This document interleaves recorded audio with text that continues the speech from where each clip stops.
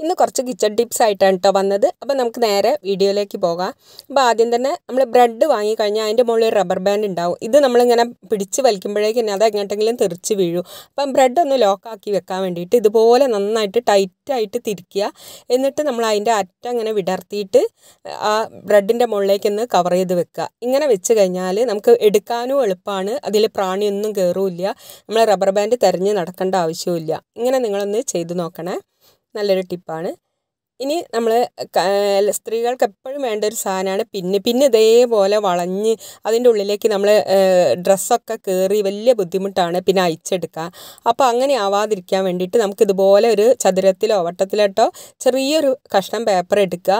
എന്നിട്ട് നമ്മൾ പിന്നിന്റെ മുകളിൽ ഒന്ന് കോർത്ത് വെക്കുക കേട്ടോ ഇങ്ങനെ കോർത്ത് വെച്ച് കഴിഞ്ഞാൽ പിന്നെ നമ്മളെ ഡ്രസ്സ് അതിന്റെ ഉള്ളിലേക്ക് കയറി പോവില്ല ഇങ്ങനെ ഞാൻ എല്ലാ പിന്നും ഇതേപോലെ ആക്കി വെക്കുക കേട്ടോ ചെയ്യുക പിന്നെ നമ്മൾ പെന്നിന് മൂർച്ച ഇല്ലാഞ്ഞാലാണ് അധികം ഇങ്ങനെ വളഞ്ഞൊക്കെ പോവുക.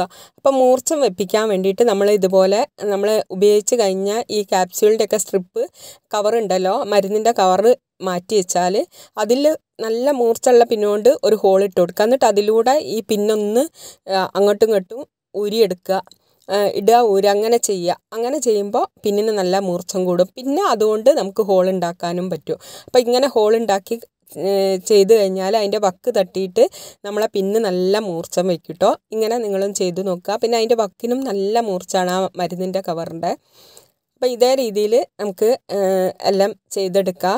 അപ്പോൾ അടുത്ത പിന്നും ഞാൻ ഇതേപോലെ ചെയ്തെടുക്കുക ചിലപ്പോൾ നമുക്കൊരു പാക്കറ്റ് വാങ്ങുമ്പോൾ മുഴുവൻ ഇതുപോലെ ഉണ്ടാവുക. സിൽക്ക് സാരിയൊക്കെ കുത്തുന്ന സമയത്താണത് മനസ്സിലാവുക. അപ്പോൾ ആ പിന്നുകളൊക്കെ എടുത്ത് ഞാൻ ഇതേ രീതിയിൽ ഒന്ന് ചെയ്തിട്ട് ഒക്കെ പേപ്പർ ഇട്ട് വെക്കുക കേട്ടോ ചെയ്യുക. അപ്പോൾ നമുക്ക് എവിടെയും പോകാൻ നേരം ഈ പേപ്പർ തിരഞ്ഞെടുക്കണ്ട? എല്ലാം ഞാൻ ഇതുപോലെ ഡബ്ബിയിലാക്കി വെച്ചതാണ്. ഇത് ഇങ്ങനെ നിങ്ങളും ചെയ്ത് നോക്കുക. അടുത്തത് കടുകാണ്. നമ്മളെല്ലാവരും അടുക്കളയിലുള്ള ഒരു സാധനമാണ് കടുക്.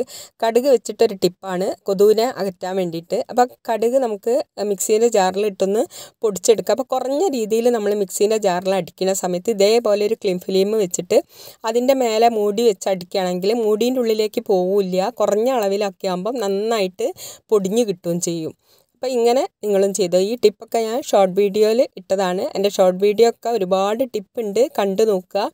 പിന്നെ നമുക്കൊരു ചിരാഗോ അല്ലെങ്കിൽ ചെറിയൊരു ചെറിയൊരു പാത്രം എടുത്തിട്ട് അതിലേക്ക് നമുക്ക് ഈ പൊടിച്ച് വെച്ച കടുക് ഇട്ട് കൊടുക്കാം കേട്ടോ ഇതിപ്പോൾ ഒരു കടുകണ്ണി ആക്കാൻ വേണ്ടിയിട്ടാട്ടോ അതിലേക്ക് കുറച്ച് മഞ്ഞൾപ്പൊടി ഇട്ട് കൊടുക്കുക അപ്പോൾ ഈ നിങ്ങളുടെ കയ്യിൽ കടുകെണ്ണ ഉണ്ടെങ്കിൽ അത് നേരിട്ട് ഉപയോഗിച്ചാൽ മതി കേട്ടോ അപ്പോൾ കടുകെണ്ണ ഇല്ലാത്തവർക്ക് വേണ്ടിയിട്ടാണ് ഈ ഒരു ടിപ്പ്. ഇത് മിക്സ് ചെയ്തതിന് ശേഷം നമ്മളെ കയ്യിൽ എന്തെങ്കിലും വേസ്റ്റ് എണ്ണകൾ ഉണ്ടാകും. പപ്പടം കാച്ചേന്റെയോ ചിക്കൻ പൊരിച്ചതിന്റെ ഒക്കെ എണ്ണ ഉണ്ടെങ്കിൽ അതായാലും മതി. ഇല്ലെങ്കിൽ നല്ലെണ്ണ ഒഴിച്ചു കൊടുക്കുക. ഇത് ഒഴിച്ചിട്ട് നമുക്ക് രണ്ട് തിരിയിട്ട് നമുക്ക് ഇതൊന്ന് കത്തിച്ചെടുക്കുക വേണ്ടത്. അപ്പോൾ ഇങ്ങനെ കത്തുന്ന സമയത്ത് നമ്മൾ ഈ കടുകിന്റെ എണ്ണ കത്തുന്ന അതേ എഫക്റ്റാണ് വരിക. പിന്നെ ആ മഞ്ഞളും. ഇതിന്റെ സ്മെല്ല് ഉണ്ടെങ്കിൽ കൊതു ആ വഴിക്ക് വരൂല കേട്ടോ അപ്പം നിങ്ങളിങ്ങനെ ചെയ്യുന്ന സമയത്ത് എന്നും ഇതേപോലെ ചെയ്യരുത്. രണ്ട് ദിവസം ഈ കടുക് പൊടിച്ചിട്ട് ചെയ്താൽ പിന്നെ കുറച്ച് കർപ്പൂരോ അല്ലെങ്കിൽ സാമ്പ്രാണിയൊക്കെ വെച്ചിട്ട് ചെയ്യുക അപ്പം എന്നും ഒരേപോലെ ചെയ്താൽ കൊതു അതുമായിട്ട് അഡ്ജസ്റ്റ് ആവും. അപ്പം പിന്നെ കുറേ ദിവസം കഴിയുമ്പം കൊതു വരും.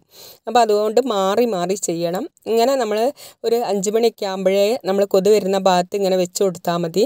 പിന്നെ നേരത്തെ ജനലൊക്കെ അടയ്ക്കുക വാതിലൊക്കെ അടയ്ക്കുക. അപ്പോൾ ഞാൻ എന്നും കത്തിക്കുന്ന ഇതാണ്. മറ്റേത് വീഡിയോയ്ക്ക് വേണ്ടി അടുത്ത് വേറെ ഒന്ന് എടുത്തതാണ് കേട്ടോ അപ്പോൾ ഒന്ന് അടുക്കള ഭാഗത്തും ഒന്ന് മുന്നിലെ ഭാഗത്തും വെച്ച് കഴിഞ്ഞാൽ കൊതുവിനെ ഒരുവിധമൊക്കെ നമുക്ക് ഒഴിവാക്കാം. ഇങ്ങനെ നിങ്ങളും ചെയ്ത് നോക്കുക. അടുത്ത ടിപ്പ് എന്ന് പറഞ്ഞത് പഴം നമ്മൾ വാങ്ങിക്കുന്ന സമയത്ത് ഇങ്ങനെ പടലയായിട്ട് ഒന്നിച്ചുണ്ടാവുക.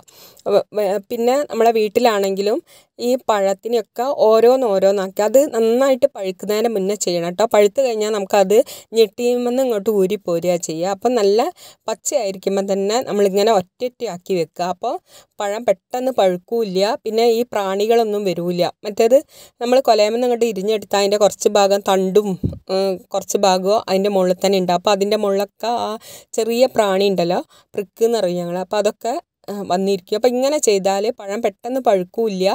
പിന്നെ പഴത്തിന്റെ മുകളിൽ ആ കൊതുക് പ്രാണിയൊന്നും വന്നിരിക്കില്ല. അപ്പോൾ ഇങ്ങനെ നിങ്ങളും ചെയ്ത് നോക്കുക കേട്ടോ. നിങ്ങൾക്ക് ഈ വീഡിയോ ഇഷ്ടമാവുകയാണെങ്കിൽ സബ്സ്ക്രൈബ് ചെയ്ത് സപ്പോർട്ട് ചെയ്യുക. ഇനിയും പുതിയൊരു വീഡിയോയുമായി വരുന്നവരെയും ബായ്. താങ്ക്